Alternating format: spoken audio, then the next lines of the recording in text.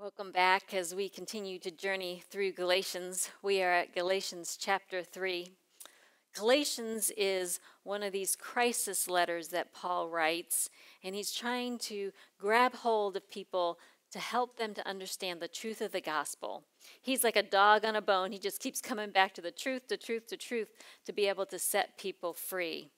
Remember, there's these Judaizers that have come in that said it's the gospel plus the law, gospel plus circumcision. So, once again, Paul is trying to bring us back that justification, being right with God, comes only through faith. And so, he is going to bring up in Galatians 3 the poster child for justification by faith, our father Abraham.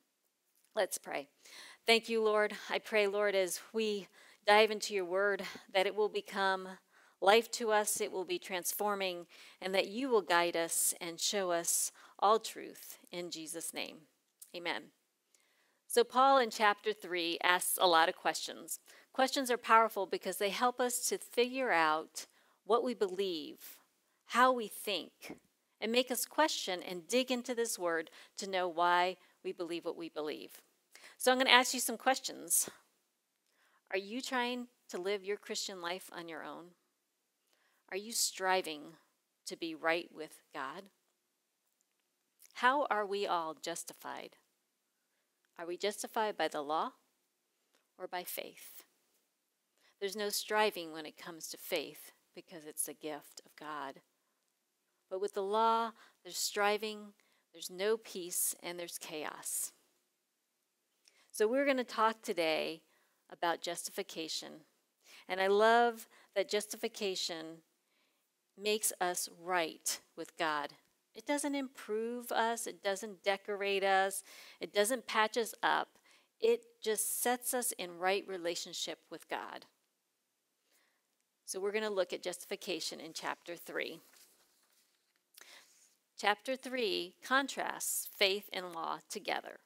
And the Spirit is actually introduced in this chapter because it's the Spirit that helps us to live that life together. So, Galatians chapter 3, 1 through 5, it says, You foolish Galatians, who have bewitched you, before whose eyes Jesus Christ was publicly portrayed as crucified? This is the only thing I want you to find out from you. Did you receive the Spirit by the works of the law or by hearing with faith? Are you so foolish, having begun by the Spirit? Are you now perfected by the flesh?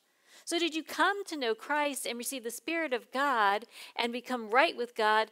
And now you're following the law because you're trying to strive to become justified? Paul was like, No. He says in verse 4 Do you suffer so many things in vain, if indeed it was in vain? Remember that Christ did not die in vain. It says, Does he then, who provides you with the Spirit and works miracles among you, do it by the work of the law or by hearing of faith? So he was asking all these questions. He says, Are you seeing miracles because of the law or because of the Spirit? Well, of course, because of the Spirit. The Spirit is doing those miracles. And who has bewitched you? Who has got you to believe this untruth? Paul turns now to help us with an example through Abraham. Now, at the time, back in Abraham's time, it, he was Abram, and then God changed his name to Abraham. Now, Abraham is known as though, him who was reckoned by righteousness by faith.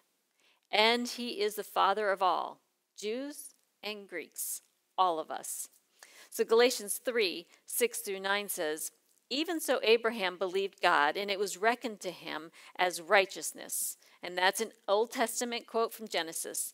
Therefore, be sure that it is those who are of faith who are sons of Abraham. The scripture foreseeing that God would justify the Gentiles by faith preached the gospel beforehand to Abraham. Did you catch that? The gospel was preached all the way back in Genesis. God Himself preached the gospel directly to Abraham back in Genesis, saying that all the nations will be blessed in you. So then, those who are of faith are blessed with Abraham, the believer. So Abraham was justified by faith, and all those who have faith are his sons, even the Gentiles. not only the Jews, but the Gentiles. God promised the Gentiles that they would be saved as far back as with Abraham. He preached the gospel to all nations, just like for God so loved the whole world that he sent his son. It is for all. So in Genesis 12:3 it says that and in all in, in you all the families of the earth will be blessed. And in Genesis 15, 5 through 6, he took him outside, showed him the stars in the sky, and said, Your descendants shall be many. And he believed in the Lord, and it was reckoned to him as righteous. At that moment, when he believed in God, in the seed that he was going to send, which was Jesus, it was reckoned to him as righteous. He was made right with God. It was through his faith. And at that moment, God made a promise through a covenant. And with a covenant, there is shedding of blood. So two an- the animals were brought. Abraham cut them in half and laid them in a row. And how you sealed this covenant was that the two that was making this covenant would walk through the dead carcasses, the blood, and seal this promise or this covenant. But God caused Abraham to fall asleep and God walked through. Remember the fiery pot? God walked through and made this covenant because he knew God's people, Abraham, God's people, could not complete the covenant. That it was going to be God alone that could reckon us right with him, make us right with him through this promise. So God promised that.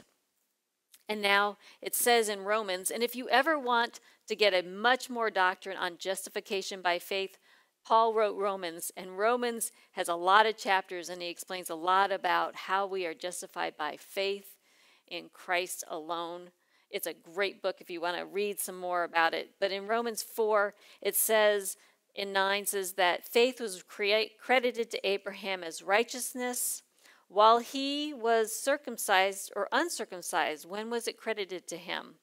Well, in Genesis 12, when this promise was made to Abraham, he was not circumcised.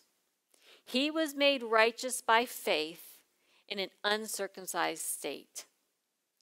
And it goes on and it says in verse 12, and the father of circumcision to those who not are only of the circumcision, but who also follow in the steps of faith of our father Abraham, which he had while uncircumcised.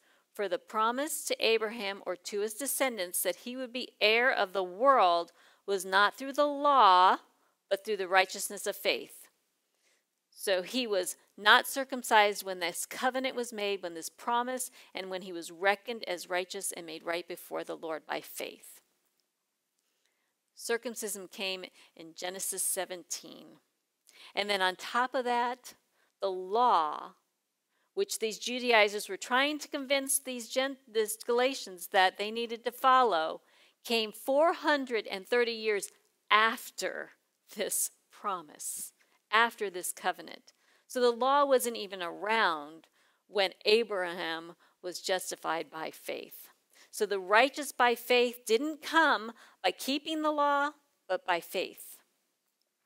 So Paul goes on to reason in Galatians 3 10 through 14. It says, For as many as are the works of the law are under a curse. For it is written, Cursed is everyone who does not abide by all things written in the book of the law to perform them. See, there's the curse because we are in bondage. We are in chains to this law because this law, the consequence for breaking the law is sin and death. And if we remember, all sin and fall short of the glory of God, so we have the curse of death. So there is this curse that comes through the law. Now, in verse 11 of chapter 3, now that no one is justified by the law before God is evident, for the righteous man shall live by what? Faith. However, the law is not of faith. On the contrary, he who practices them shall live by them.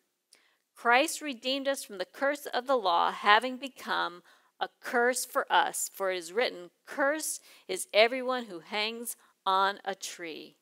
in order that in Christ Jesus the blessing of Abraham might come to the Gentiles so that we might receive the promise of the Spirit through faith.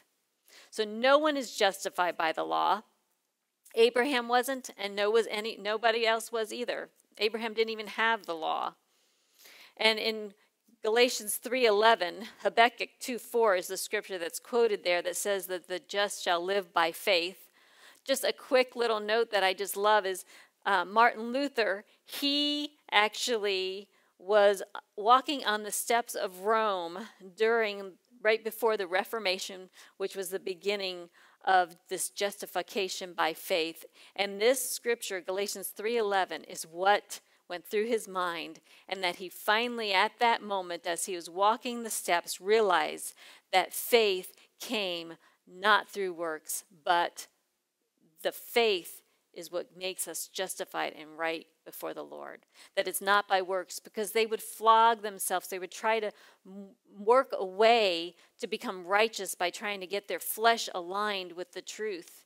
And he finally, in this verse that Paul wrote, Galatians 3:11, realized justification came by faith alone. Then it goes on that the law was a curse, and so in order for that curse to be totally gotten rid of, Jesus Christ came. Because remember in James 2:10 it says, "For whoever keeps the whole law yet stumbles in just one point, he is guilty of them all." So there is no way we could keep the law, so we had Jesus who took that curse for us. I think it's so important that we recognize that Paul used the Old Testament in this New Testament passage. So, from the Old Testament to the New Testament, we see the grace of God, that it's always been the gospel that it has not changed. We always say, well, the Old Testament is the law and the New Testament is grace. No, may that not be. We can see that the promise that was made to Abraham and how he was reckoned by justice by faith in Christ, made him right with Christ, came in Genesis 12, which was the grace of God. So True believers receive this Spirit through the faith in Christ. In his death, remember, we died with Christ and we rose to new life with him. And so we are justified by faith, we live by faith, and we continue by faith because he lives where? In us now. There is nothing that we do that can justify us. We shall live by faith alone. So the question is what does it mean to live by faith? How do we live by faith? And where does it begin? This made me think is it in our doing, because we're always striving to do to make us right with God, or is it in our thinking? Well, I need to be reminded of Proverbs 23 7. It says, As a man thinks in his heart, so is he. That's why it's so important that we know the truth, because what we think here goes to our heart and then we live it out. So these Judaizers was getting into the Galatians' mind saying, these, This is what will make you right. This is what you need to do. This is truth. And then they were going to live that out. That's why it's so important that we sup and eat and know this word from beginning to end and realize that the same gospel was at the beginning as it is in the end, and that we are saved and justified by faith alone in Christ alone. And there's nothing that we can do to make us in that right standing. And Paul keeps hitting them with this and hitting them with this because the Galatians were being led astray from the truth. Beware. Do not be led astray. Make sure it lines up with the Word of God. So he goes on and he says in Galatians 3 16 through 18, now the promises were spoken to Abraham and to his seed, singular. He does not say, and to seeds as referring to many, but rather to one. And to your seed, that is Christ. What I'm saying is this the law, which came 430 years later, remember we talked about that, does not invalidate a covenant previously ratified by God so as to nullify the promise. Right here, he's saying, look, that covenant that was given to Abraham and he was reckoned as righteous through his faith, the law does not nullify. The law does not contradict that. That covenant, that promise is ultimate, it came before. For if the inheritance is based on the law, it is no longer based on a promise, but God has granted it to Abraham by means of a promise. This was a promise. Abraham believed in Jesus, that seed to come. He believed in God and it was reckoned to him. So then, why the law? 430 years later, why the law? Paul answers us in Galatians 3 19 through 22. He says, Why the law then? It was added because of transgressions, sins, having been ordained through angels by the agency of a mediator until the seed would come to whom the promise had been made. Now, a mediator is not for one who party only, for one party only, whereas God is only one. Is the law then contrary to the promise of God? May it never be. The law cannot be contrary. For if a law had been given which was able to impart life, then righteousness would indeed have been based on the law. But the scriptures has shut up everyone under sin, so that the promise by faith in Jesus Christ may be given to those who believe. It's the promise of the faith in Jesus Christ. So why was the law given? For sin. It was given because of transgressions. In Romans 3:20 it talks about that the law comes through the knowledge of sin. The law magnified and points us to sin. It makes us recognize that we are sinners, that there's no way that we can keep the law, and that the consequence of not keeping the law is a curse, which is death, which is separation from God. So it points us to recognize that we need a Savior. We need the seed. We need Jesus to break that curse and to justify us, to make us right with God. So, the law, I want to talk about four things. God's law is right, and the things that we need to know about the law. One, that the law was in, fe- was in, was in effect, was not in, sorry, the law was in effect until the seed came. The law was in effect until the seed came. But Jesus, he fulfilled that law. The law is not contrary to God's previous promise that he gave to Abraham, the gospel. God gave Abraham the gospel, and then came the law. The law does not nullify that. And the law does not give life, it cannot impart life. Only faith can do that. And as a result of the law, all of us are under sin. All of us fall short of the glory of God. So we need the Savior to redeem us from that, to break that curse of death. And so, as one man sinned, and other gives us freedom and makes us right with Christ. So, another this chapter is full of lots of questions. One question is what was the purpose of the law? We said why would we have the laws to show us sin? But what was the purpose? And that what Paul talks about at the conclusion of chapter 3, verses 23 through 29. It says, But before faith came, we were kept in custody under the law, being shut up to the faith which was later to be revealed. Therefore, the law has become our tutor to lead us to Christ, so that we may be justified by faith. But now that faith has come, we are no longer under a tutor. For you are all sons of God through faith in Christ Jesus. For all of you who were baptized into Christ have clothed yourself in Christ. This is key. There is neither Jew nor Greek, there's neither slave nor free man, there's neither male nor female, for you are all one in Christ Jesus. And if you belong to Christ, then you are Abraham's descendants, heirs according to promise. The purpose of the law it was a tutor to lead us to Christ. The law was to lead us to Christ. I love how it says, For all of you were baptized into Christ, having clothed yourself with Christ. That means that the Spirit came when we believed, and it is clothing us. It is clothing us in Christ. I love when I was younger, I had gone to a private school and we had a uniform, and sometimes all of the private school would come together for a function, and you could tell who and which place you belonged because of the uniform. Well, what is powerful is that when we accept Christ, we are now clothed with Christ. We are in Christ. So we are now one together in Him.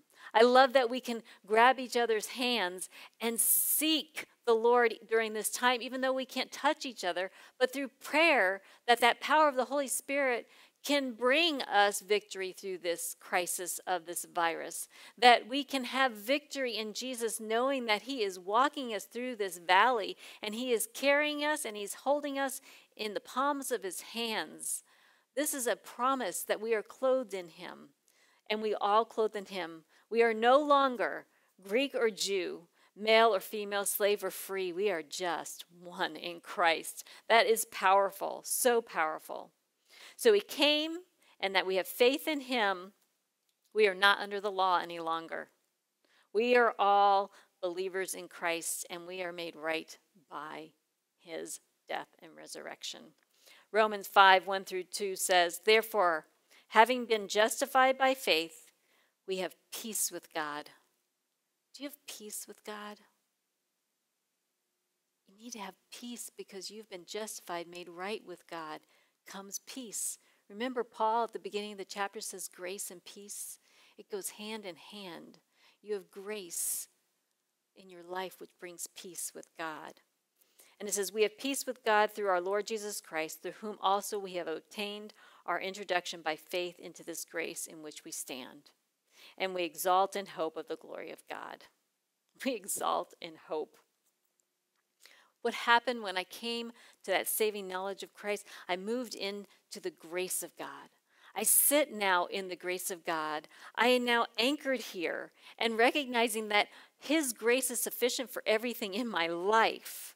And because I stand here, I can't be moved. It says, nor death nor life, nothing can separate us from the love of Christ Jesus. We are maintained by that faith we live in that grace and we remember that it is a gift of God that no one can boast. It is nothing that we have done, nothing that we can do. We need to not be striving as these Galatians were getting off course and recognize it's Christ and Christ alone. So he declares us righteous through Jesus Christ. Law magnified the sin which led us to the Savior, which then gave us justification to be right with God through his death and resurrection. This is so powerful. We need to constantly be reminded of that because we get so busy in life. We just try to keep afloat sometimes and we don't get connected to this word. From the beginning to the end, it's the gospel and it helps us to recognize and remember that justification, us being right with Christ, came through him. And we need to be connected because we live by every breath, every word of God that comes out of the mouth of God, and that is this living word. Just keep digging, keep striving in knowing the word and knowing Him, not striving in trying to be and make yourself righteous, but striving in growing your relationship and knowing Him. Because all striving is done. Christ paid and did it all so that we are made right. You know, when when I give birth gave birth to my kids, they were my they were children. Was there anything more that that baby could do to be a baby? No.